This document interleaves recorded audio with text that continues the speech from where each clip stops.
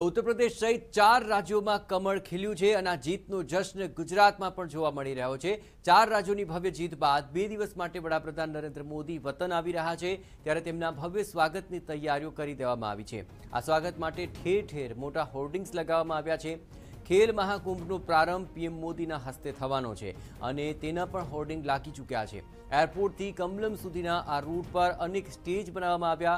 Stage પર દેશના અલગ અલગ સાંસ્કૃતિક કાર્યક્રમોની ઝલક જોવા મળશે.